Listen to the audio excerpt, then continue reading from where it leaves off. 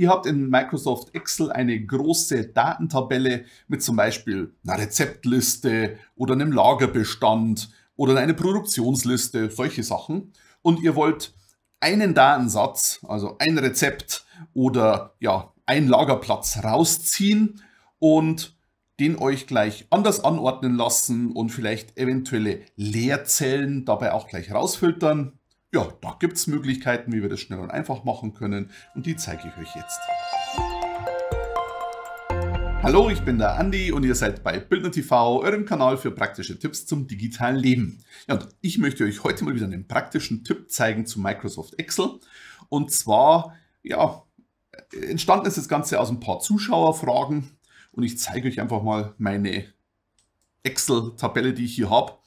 Da geht es darum, dass ich einfach eine größere Tabelle habe, in der ich verschiedene Daten eingetragen habe. Bei mir hier handelt es sich jetzt um so eine Rezeptliste und dann hat man hier oben einfach alle Zutaten aufgelistet. Und natürlich wird nicht in jedem Rezept jede Zutat benötigt. Und dementsprechend habe ich hier mal Einträge drin stehen und mal nicht.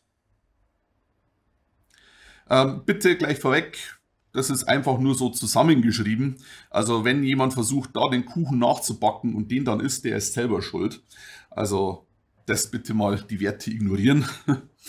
ja, und das Ganze muss nicht nur ja, mit Rezepten funktionieren. Das Ganze kann auch einfach eine Lagerbestandsliste sein oder eine Produktionsliste oder was es dann noch alles gibt. Das ist ja nur beispielhaft hier. Und ja, was ist jetzt die Problemstellung, die Fragestellung? Ich würde mir gern einen Datensatz raussuchen. Zum Beispiel, ich möchte jetzt gern für den Kirschkuchen meine ganzen Zutaten haben. Das können wir rauslesen mit S-Verweis oder noch besser, wenn ihr schon Microsoft 365 habt oder die 2021er Version mit dem X-Verweis. Dann geht das Ganze noch eleganter. Ja, aber dann habe ich natürlich meine Leerzellen drinnen, was nicht so schön ist. Und da schauen wir uns an, was, wie ich das zum Beispiel auch umgehen kann. Ja, und wenn ihr wissen wollt, wie das mit S-Verweis und X-Verweis noch genauer funktioniert, was es dann noch alles gibt, worauf zu achten ist, dann findet ihr das natürlich bei mir in meinen Videos, aber auch komprimiert, schnell und einfach zum Nachlesen in unserem Buch Excel 2021, die Stufe 2 Aufbauwissen. Hier für Excel 2021, wo auch Microsoft 365 natürlich mitbehandelt wird. Aber diese Bücher gibt es natürlich auch für alle älteren Versionen. Ja, und ihr könnt euch auch noch hier einige Gratis-Kapitel sichern. Da könnt ihr schon mal reinschmökern. Ja, und wenn ihr möchtet, könnt ihr das auch gewinnen. Und zwar, ihr müsst einfach nur einen Kommentar unter dem Video dalassen und schon nehmt ihr an der wöchentlichen Gewinnspielziehung teil. Ja, und mit etwas Glück seid ihr der Gewinner und dürft euch dann ein Buch aus unserem Verlagsprogramm frei auswählen. So, und ich fange jetzt mal an, das Ganze hier zu lösen. Das heißt, Normalerweise würde ich das, was ich jetzt hier alles mache, weil die Liste kann ja eigentlich viel, viel größer sein, würde ich das in einem neuen Tabellenblatt machen. Aber damit es für euch ein bisschen übersichtlicher bleibt, bleibe ich hier in meiner, in diesem Tabellenblatt. Und jetzt habe ich hier erstmal eine Suche und da suchen wir zum Beispiel nach ja, dem Schokotraum. Ja. Und was ich gleich machen möchte, ich hätte die gerne nicht nebeneinander aufgelistet, sondern von oben nach unten. Und da mache ich jetzt folgendes. Die Ergebnisse kann ich hier mir ja mit S-Verweis holen oder noch schöner mit dem X-Verweis. Und ich hole mir schon mal hier oben meine Überschriften und die lasse ich mir untereinander hinschreiben.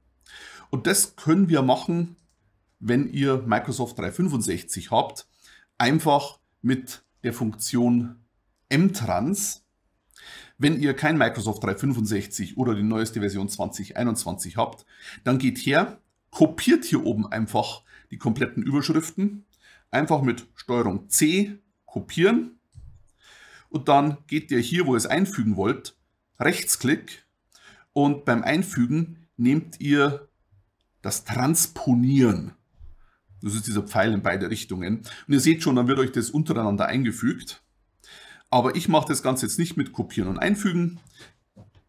Weil ich 365 habe, nehme ich die neue Funktion mtrans her. Ja, und da brauche ich bloß den Bereich markieren. und mit Enter bestätigen und schon fügt er mir das untereinander ein. Also hier seht ihr ganz einfach die Funktion mtrans und dann habe ich oben einfach die Überschrift markiert.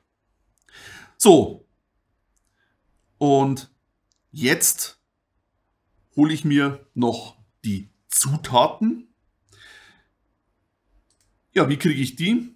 Die könnte ich mir jetzt einzeln rausholen mit S-Verweis.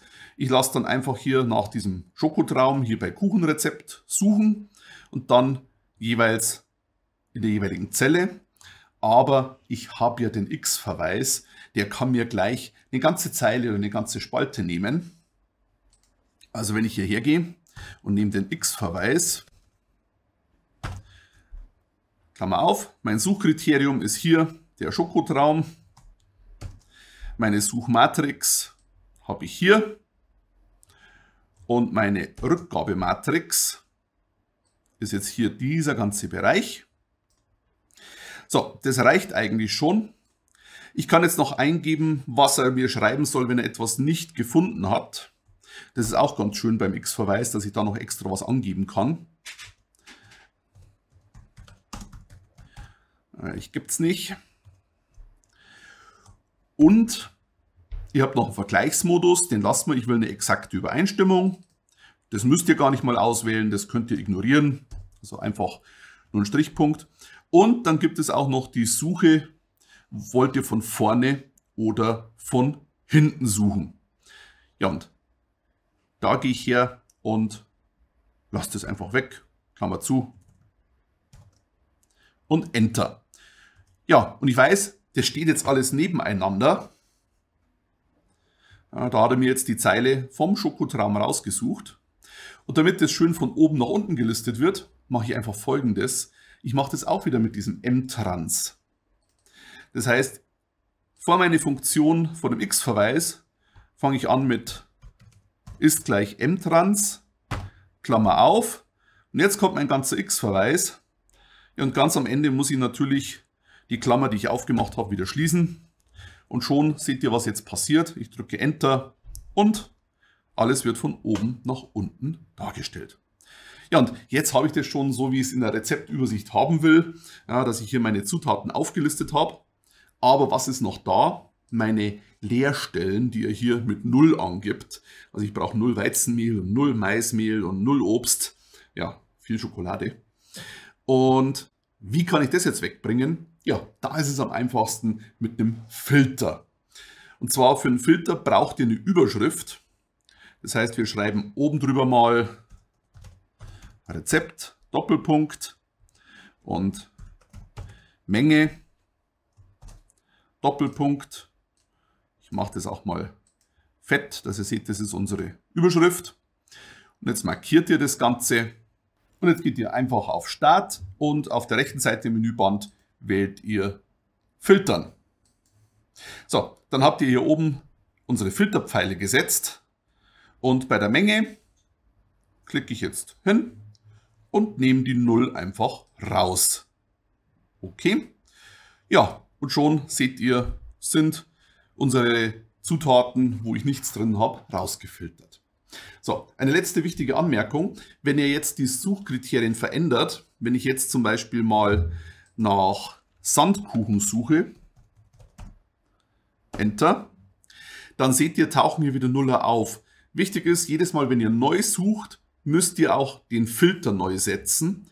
Also hergehen, alles auswählen und die Null wieder rausnehmen. Okay, dann stimmt die Anzeige wieder.